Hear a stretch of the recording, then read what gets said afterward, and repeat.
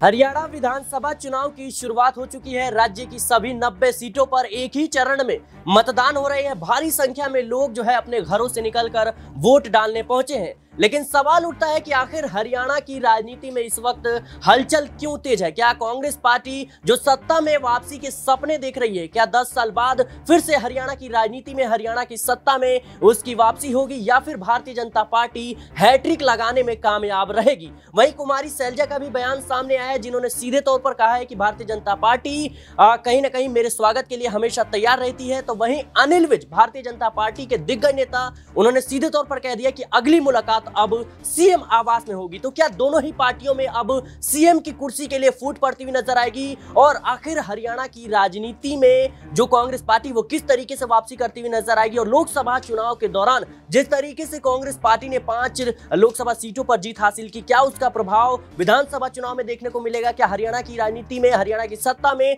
कांग्रेस को कामयाबी मिलती हुई नज़र आएगी? आखिर कांग्रेस पार्टी कितनी सीटें जो है, वो जीत कर अपने दम पर सरकार बनाती हुई नज़र आएगी? और कई सवाल है जेजेपी को लेकर, एनएलओ को लेकर के आम आदमी पार्टी, आज़ाद समाज पार्टी और तमाम पार्टियाँ जो इस वक्त हरियाणा विधानसभा चुनाव में सक्रिय है, हरियाणा विधानसभा चुनाव में ताल ठोक रही है। उनको लेकर सवाल पूछेंगे। मेरे साथ मेरे जो तमाम सहयोगी है, जो हरियाणा की तमाम अपडेट्स पर नज़र बनाए हुए ग्राउंड ज़ीरो से हमारे साथ दिनेश दिनेश किस तरीके से देख रहे हैं आप? जिस तरीके से आपने ग्राउंड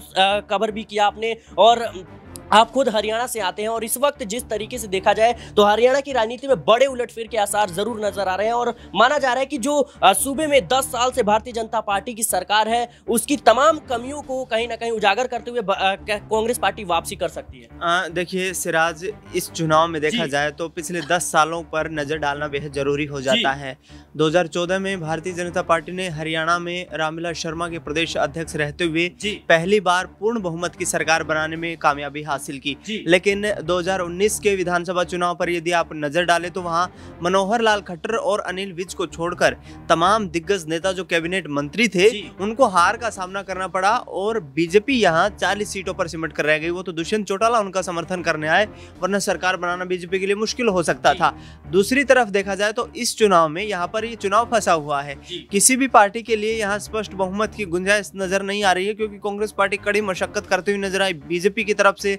शीर्ष नेतृत्व के तमाम दिग्गज नेताओं ने जान झोंक दी। लेकिन प्रदेश की जनता किस तरफ़ अपना जो है रुख दिखाएगी ये तो आठ तारीख को स्पष्ट हो पाएगा। लेकिन ग्राउंड पर हमारी तमाम जो परिस्थितियाँ थी जिस तरीके से हमने वहाँ पर जो माहौल देखा उसके अनुसार यहाँ पर बीजेपी और कांग्रेस आमने सामने यहाँ पर टक्कर में दिखाई दे रही है और इस टक्कर में यहाँ पर कहीं ना कहीं एज जो है वो कांग्रेस पार्टी को दिखाई दे रहा है। क्योंकि किसान आंदोलन बड़ा मुद्दा था और जाट वोट बैंक हरियाणा में 35 फ़ीसदी है। सैंतीस सीटों पर प्रभावी है और निर्णायक भूमिका में भी मौजूद है। तो ऐसे में कहीं ना कहीं कोशिश ये की जा रही है कांग्रेस पार्टी की तरफ़ से कि जो जाट वोट बैंक किसान आंदोलन के वक्त पर बीजेपी हाईकमान केंद्र सरकार प्रदेश सरकार से नाराज़ हुआ था उसका यहाँ पर पुरजोर यहाँ पर समर्थन ले लिया जाए। दूसरी तरफ़ देखा जाए कुमारी शैलजा मुझे अच्छी तरीके से याद है बारह सितंबर से लेकर के वो लगातार तीस सितंबर तक जो है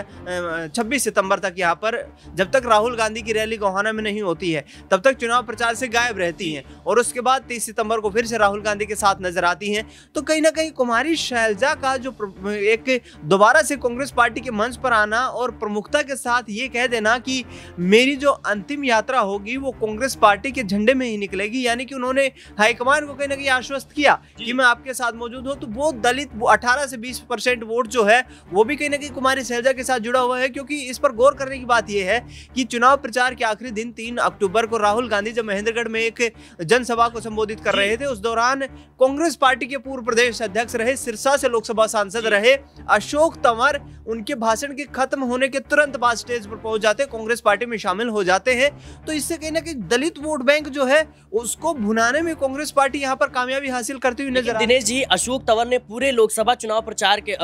पूरे विधानसभा चुनाव प्रचार के वक्त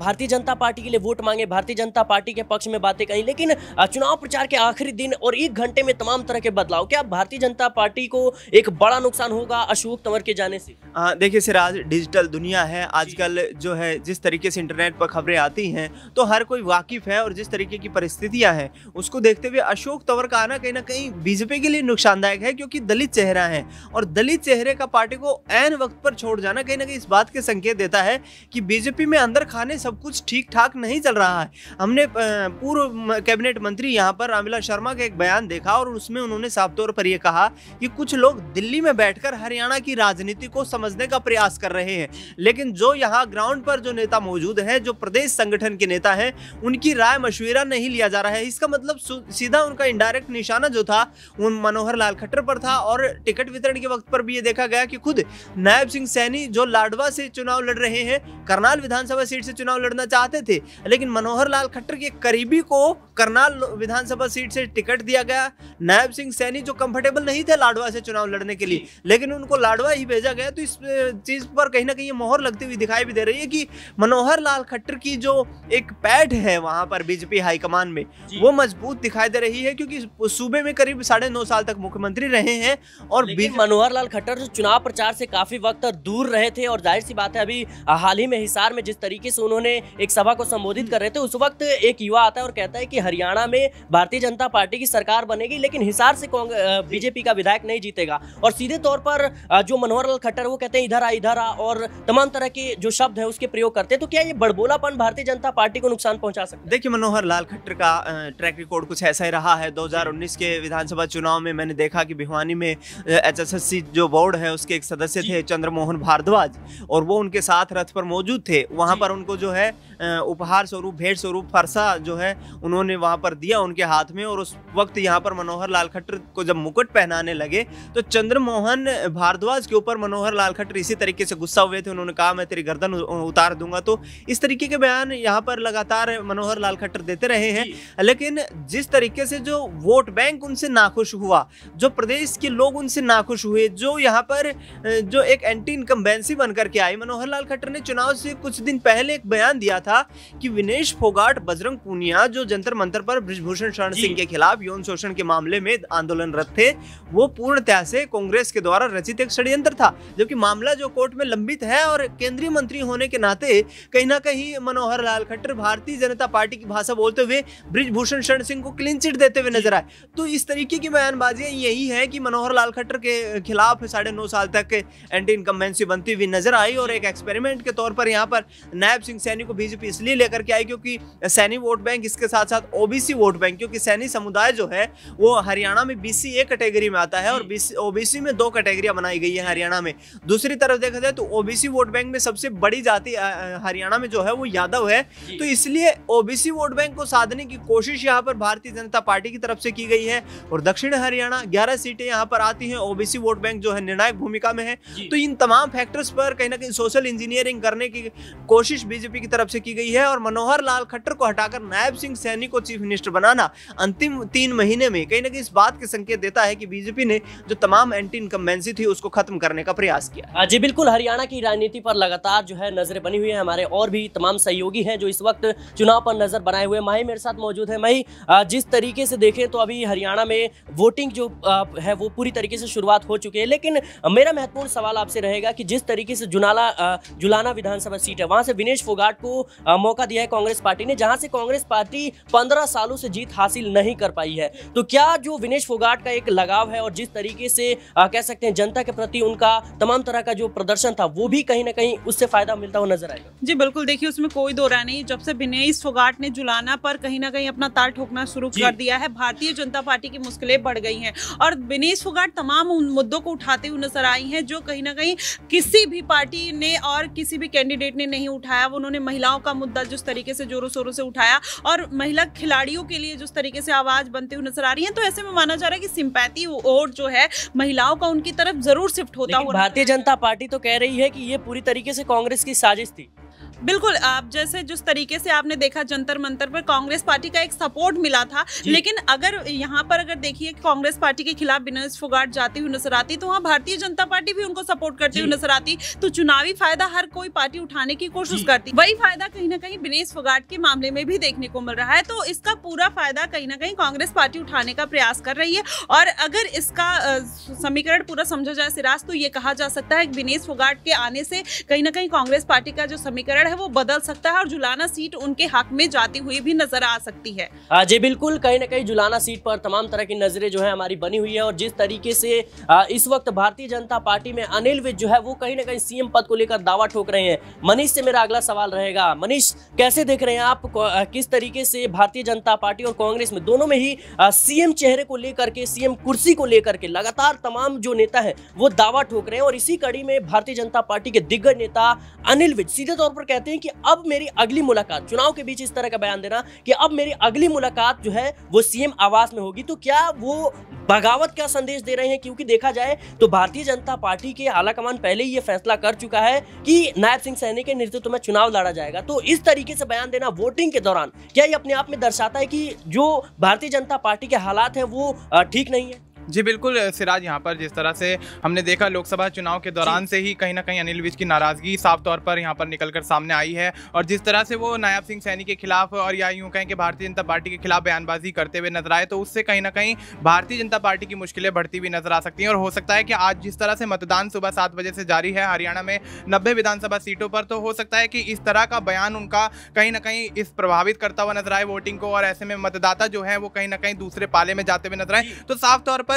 आप देख सकते सकते हैं कि यहाँ पर भारतीय जनता पार्टी के इतने दिग्गज चेहरे जो कि कई यहाँ पर मंत्री पद पर भी हरियाणा की राजनीति में रहे हैं और ऐसे में अब अनिल विज जिस तरीके से बगावत करते हुए नज़र आ रहे हैं तो कहीं ना कहीं यहाँ पर नायब सिंह सैनी को उनका ये खुला चैलेंज एक तरीके से देखा जा रहा है और भारतीय जनता पार्टी को भी वो चैलेंज देते हुए नज़र आ रहे हैं। और देखा जाए तो लोकसभा चुनाव के दौरान जिस तरह से कांग्रेस ने सूबे की पाँच सीटों पर कब्जा किया लोकसभा चुनाव में जिस तरह से कांग्रेस ने जीत दर्ज की तो कहीं ना कहीं भारतीय जनता पार्टी उनकी जीत से कहीं ना कहीं अब सचेत हो गई है और उसको लेकर जिस तरह से भारतीय जनता पार्टी ने जोरों शोरों से तैयारियाँ शुरू करी तो उसके बाद यहाँ पर अब अनिल से अनिल विज यहाँ पर जिस तरीके से बयान दे रहे हैं वो कहीं ना कहीं भारतीय जनता पार्टी को उसका खामियाजा भुगतना पड़ सकता है और ऐसे में जो सियासी भविष्य है भारतीय जनता पार्टी का हरियाणा की राजनीति में वो भी कहीं ना कहीं धुंधला सकता है और ऐसे में जिस तरीके से अब लगातार लंबे समय से भारतीय जनता पार्टी ये दावे करते हुए नज़र आ आती कि जीत की हैट्रिक लगेगी और नायब सिंह सैनी तीसरी बार सूबे के मुख्यमंत्री बनेंगे। तो जहाँ तक मैं समझता हूँ कि अनिल विज इस तरीके से अगर बगावत करते हुए नज़र आएँगे तो वाकई कांग्रेस की तरफ़ से यहाँ पर कोई फ़ायदा यहाँ पर उठाना यहाँ पर चाहेगा नेता तो वो कहीं ना कहीं अनिल विज को कोई बड़ा ऑफ़र दे सकते हैं। जिस तरीके से अब आपने कुमारी शैलजा का मामला देखा कि कुमारी शैलजा जब यहाँ पर भूपेंद्र सिंह हुड्डा से नाराज़गी ज़ाहिर करती हुई नज़र आई, सीएम चेहरे के तौर पर खुद को आगे करती हुई नज़र आई तो कहीं ना कहीं यहाँ पर मनोहर लाल खट्टर और सीएम नायब सिंह सैनी उनके समर्थन में उतरते हुए नज़र आए तो उससे ये स्थिति देखी जा रही थी कि अब कुमारी सैलजा कहीं ना कहीं कांग्रेस का दामन छोड़कर भारतीय जनता पार्टी में जाएँगी। उसके बाद कुमारी सैलजा ने स्थिति साफ़ करी और कहा कि मैं कांग्रेस की थी और कांग्रेस की ही रहूँगी। तो उसके बाद अब अनिल विज इस तरीके की चीज़ें करते हुए नज़र आ रहे हैं जो कुमारी शैलजा ने की। वही चीज़ कहीं ना कहीं भारतीय जनता पार्टी को इस विधानसभा चुनाव में काफ़ी बड़ा नुकसान झेलने के लिए पूरी तैयारी कर सकती है। और ऐसे में अगर अनिल विज यहाँ पर बगावत करते हैं और ये सीएम आवास वाला जो आपने स्टेटमेंट बताया वो देते हुए नज़र आते हैं कि सीएम आवास पर मुलाकात होगी तो वाकई यहाँ पर नायाब सिंह सैनी की मुश्किलें बढ़ाते हुए नज़र आ सकते हैं अनिल विज। जी, बिल्कुल, इस वक्त भारतीय जनता पार्टी की मुश्किलें जो है वो लगातार बढ़ रही है। देखा जाए तो जिस तरीके से सीएम पद को लेकर, सीएम चेहरे को लेकर भारतीय जनता पार्टी में